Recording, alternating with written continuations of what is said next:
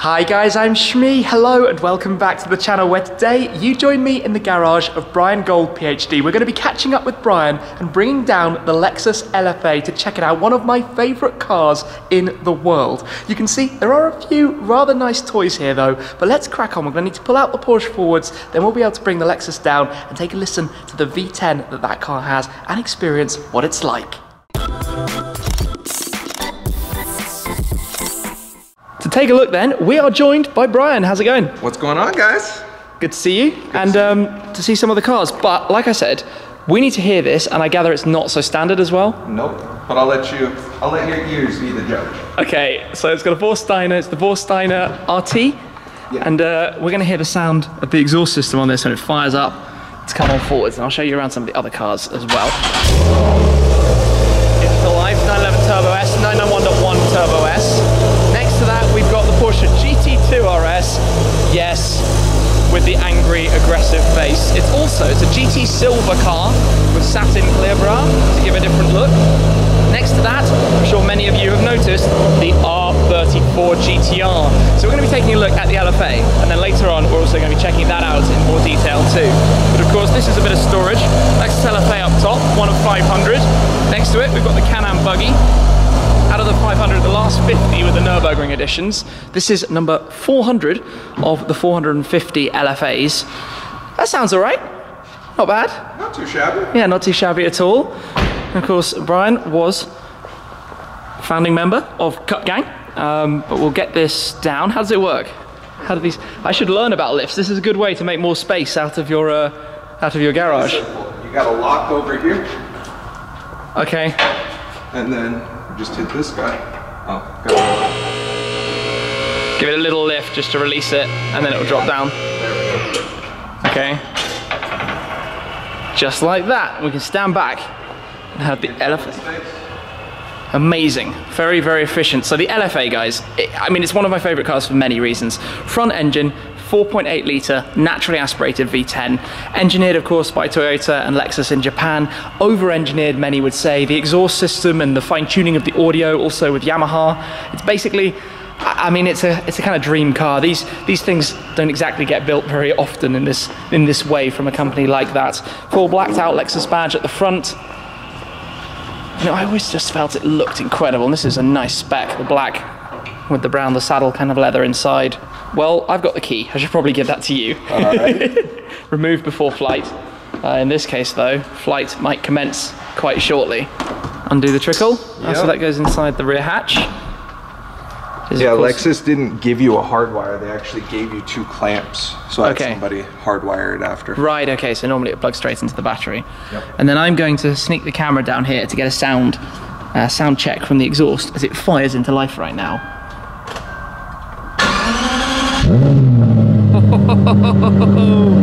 It's such a sweet tone.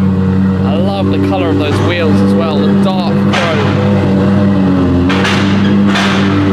It's quite a kind of 90s supercar wedge shape almost, the way it goes down towards the rear like that. This car though, absolute stunner. Absolute stunning thing. Time then. So the door handles for the Lexus LFA, you press down in here, the door opens up. Take a step inside. Everything about the interior of this actually kind of paved the way for newer generation Lexuses. Things like the uh, joystick controller that you have. Oh, the plaque there, that's cool. LFA number 400. That's quite nice to have a round number. Yeah, and then your airbag seat.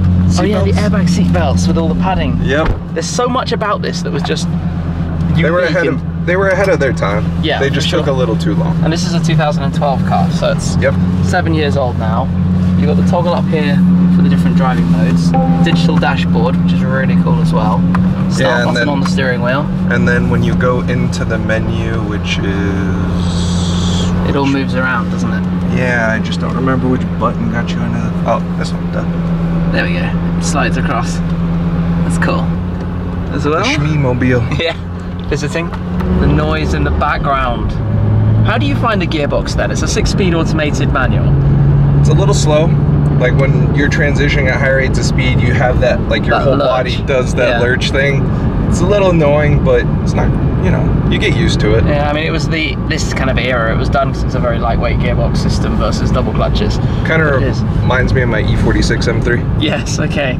Yeah. Yeah. The uh, SMG, SMG, yeah. Yeah. And if you didn't give it enough gas, the whole car would shake. Yeah. Yeah. Yeah. Kind of like that. So this is drive automatic, but you have that ah five cylinders idling. Yep. That like that cylinder deactivation back on this. That's actually that must have been way ahead of the time. You still don't have that on most supercars now. No. Wow. And you feel the slight engine difference right now. Yeah. Your butt vibrates a little differently. Yeah. And then you got, so once we play with the paddles, Yeah. it's now in manual. If you want to go back to auto, okay, just you press on there. and then you have your different, Yeah, the sport display where it goes white. yep. it's Such a cool dashboard. Really one of the best. The mix of analog and digital. Still having the chrome surround and the screen that slides across. Yep. No lift system though. No lift. That does make life a little bit difficult. I installed skid plates. Okay. That was yeah. about the best I was going to get. Yeah, protect the bumper. Mean, the, to be honest, interior of it is really cool. Maybe the screen is going to get outdated quite quickly, but I think that's the way with all technology these days. Yeah. But at least the seats are comfy. I can see how uh, TradeCoin put 50,000 miles yeah. on his. Yeah, yeah, yeah. So, oh, that sound.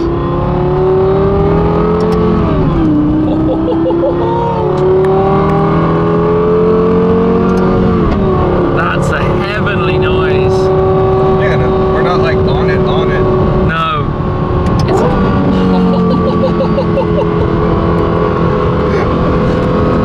It's glorious.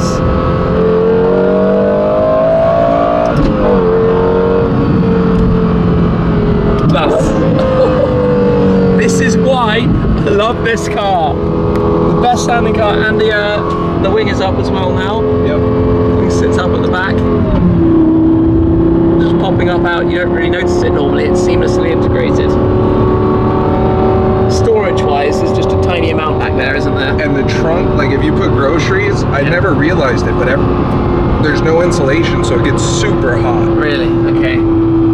Just the small shelf behind us underneath the glass back here. Yep. Wow. I also like the noise you get out of the shifter. The kind of metallic click. Yep. Just gives you a satisfactory feeling, I think. Oh yeah, just playing with the paddles is fun. Yeah, and the steering wheel's cool too, the way it's The it's carbon really- and the saddle. Yeah, the way you've got some leather, you've got the carbon fibre, functional, the small the toggles from the menu, start button, flat bottom. They've kept it fairly simple. Yeah, the car is just, it's dreamy, and they're appreciating too fast at the moment, where I have one very quickly. I love it, absolutely love it. It's very comfortable actually, isn't it? I mean, you can tell it's, it's on the firm edge, but it's not unpleasantly firm. Yeah, compared to like Porsches and McLarens, like this Yeah. is pretty It comfortable. rides decently. And I guess the Nürburgring edition is actually probably even stiffer. Yeah. um, than this. Sport mode just changes gearbox behaviour and that side of things. You've got those huge scoops that you can see. The side intakes back there as well.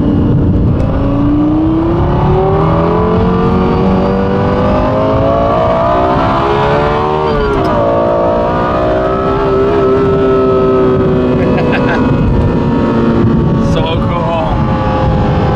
What a car the finish of everything, how the center console kind of matches the color of the wheels as well. Yep. They carry it all through.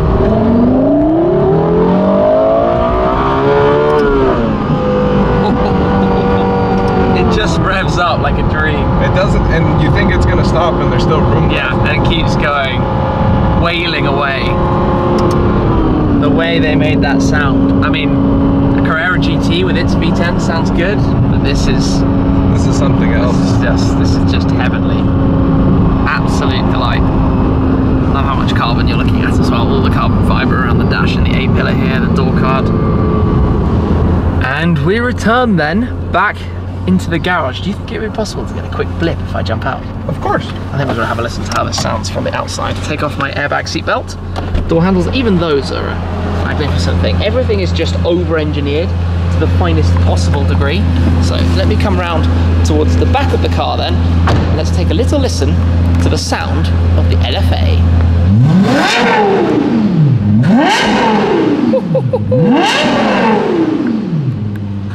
that is heaven. high pitched, fast revving, glorious, glorious sound. Wow. Every startup is a good one, and it's such a unique style as well. Oh, I tell you what, just quickly, before reversing, can we see the wing going up and down? Little uh, demo. Oh, do you have to be belted up and everything? Gotta find the button. Ah. And that's what the wing looks like when it's up. But as soon as you start driving, it would actually put itself down. That's literally just a parking mode. You can see how the lower edge comes up as well for the airflow. Again, all very over-engineered. That's really cool, especially the way you see the lower part of it coming up as well. Yep. Engine- snaps into place. Yeah, just engineering craziness.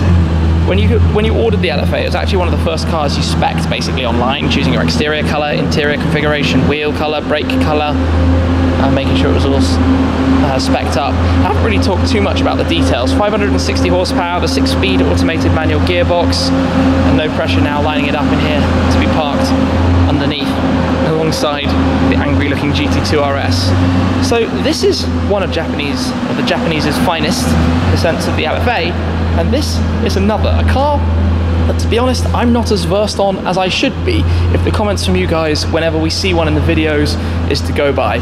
So let's find out a little bit more about the R34 GTR. Talk to me about this car then.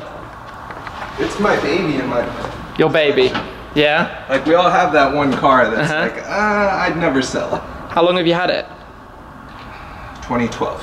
So I Okay. this and the LFA right around the same time. Okay, a little bit of a Japanese streak there. Yep. I've always been a Japanese guy. I even have a 300ZX like this in silver. Hmm. Okay, fair play. So, I mean, other than knowing the R34 came after the R33 and before the R35, I don't know all that much about it. Yeah, What- the R35 is cool, but I'll pop the hood for you. Uh-huh. Is this a specific spec or trim or anything, or This one's a V-spec. a V spec? Okay. And under here, I'm always keen to learn. Engine-wise, what are we looking at? So you're looking at a big engine. No, just screwing around. Um, so I did custom intakes. Uh-huh. I did a oil filter relocation kit, Okay. a custom intercooler, oil cooler, Nismo fuel rail or Tomei fuel rail, uh, bigger injectors, different fuel pump. Um, Okay. This has HKS uh, drag suspension. Right. So I put some time and energy into it. Do you know what power it's running? We are making right around 650 to the tire. Wow. Wow. okay, that's not what I was expecting there. So that's, I mean, 750 or so from the Give or engine. take, yeah. Woo! Okay then, shall we? Can we hear it start up and pull it forwards? How's this? That's a deep grumble. So this is a very, very different car. Very, very different cars. V-Spec GTR. I've never even been in one before. I don't think I've ever even sat in an R34 or an R33 for that before in my life. That's quite comfortable. It's a bucket seat with, with good bolstering. Yeah, very comfortable. Take it out for a quick run. Let's go. Right hand drive in the US. Yep. A little different. That is completely different. Okay, literally, this is a right hand drive car over here in America. And also the thing people have to watch out for is the indicators. So saying the indicators are on the wrong side too, aren't they? Correct. They're over on the right. Do you do you just jump in and drive it and you don't think about it? Or do you Yeah, have to like reset your brain? No, I've gotten used to it at this point. It's Yeah. a shifter. You know, it's the same shifter. same pattern. Yeah. So first is still top left. Given that this car is actually from back in 1999, the technology of it for 20 years old is insane. Look at the screen. You can see where the inspiration for the R35 came from in terms of the dials and displays. It was, I mean, it's like the LFA, isn't it? It was just ahead of its time. It was ahead of its time. It was a beast of a machine. It just never made it to the US. And even Nissan added four-wheel steering, so you still have a couple degrees of steering in the rear. Which is crazy because that's what obviously a lot of manufacturers make such a song and dance about now. Yeah. Having rear wheel steering. They did it back in the 90s. And I don't even think that was the first time it was ever done. No, it started with the 300ZX. Okay, and I noticed the dial is in kilometers per hour as well. Yeah, I have, You just got to work it out in your head. yeah, It's roughly right. it's close enough. And the wing sticking out over the back. So this is, like I said, the first time I've ever been in one of these. I guess it must be an absolute blast to drive, manual. Oh yeah. proper car, and and there's such a club behind them. They're like association and, and fans of these cars. Oh, if we were to like drive around town in this, we'd probably get an even split of people that are like, oh my god, your Ford GT. Yeah. Forget the Ford GT. Oh my god, it's a GTR. Yeah, yeah, yeah. It's crazy seeing it, especially out here. But I think the fact that you couldn't get them new creates a big part of that. It creates some of So the desire for them. So there's only 14 legal ones in the U.S. 14. Legal. There's like maybe 50 now that are not legal. Yeah. Um, but this is one of the 14 that What are. makes it? How does that work? What so there was an import company called Motorex back in the day that imported a bunch of them. Mhm. Really, he was just fudging the paperwork.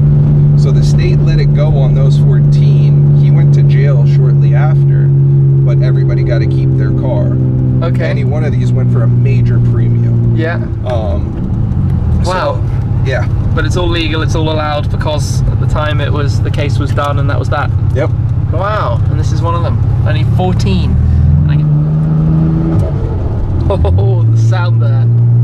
Even just a low low RPM upshift. The sounds this makes are really cool. Oh yeah. the wastegate sound. And it's turning heads too. Those guys. Uh, had their camera phones out a moment ago. Just what you were saying. People love this thing. People absolutely love it. If you know, you know. Yeah. It's one of those things that you appreciate, and it's one of those cars I saw growing up, and I was like, I want one. Yeah. There's got to be a way. Yeah, yeah. And now you've made it, now you've got it. Yep. Get to enjoy it, have some fun with it, modify it. Probably track it. Have some fun. Yeah, yeah, for sure. Amazing.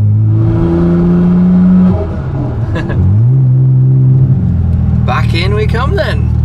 That was a fun experience. Thank you ever so much. Not a problem. My Anytime. first time in an R34 and seeing, I guess, some of the different generations of Japanese engineering here from the uh, late 90s and also to the early 10s or 2009, I think the LFA was first revealed. Something like 2009, 2010. Cool. Well, thank you ever so much. Appreciate that a lot. problem. Great catching up. Great I'm gonna pop meet your you. links down below as well, guys, if you want to go and follow Brian, see some more of the cars, see what he's up to on his Instagram page, which has a huge following, by the way. Trying to catch you. Well, congrats, it's going very well, and thank you again this amazing opportunity. Well, there we have it then, guys. I hope you've enjoyed today's video. The LFA, though, really and truly is one of my absolute favorites. I think it looks stunning. You start to see more and more of the aero and details when you're up close to it. For example, how the air comes in through the front, the openings around the lower sections as well, the angry look at the headlights, the way they're positioned, but just that front-engined, sporty Grand Tourer, all the power to the back, engine up towards the front, magnificent combination, glorious soundtrack, and one of the absolute best. An interesting experience as well, discovering the Skyline R34, a car, like I said, that I haven't really spent any time with before, but whenever one appears in my videos, I hear all about it from you guys. So great to have had that opportunity as well, and of course, also some other very nice toys around. So again, a big thanks to Brian. Do go and follow Instagram link down below as well. But thank you very much, as always, for watching. That's it for this time, and I'll see you again very, very soon. Cheers.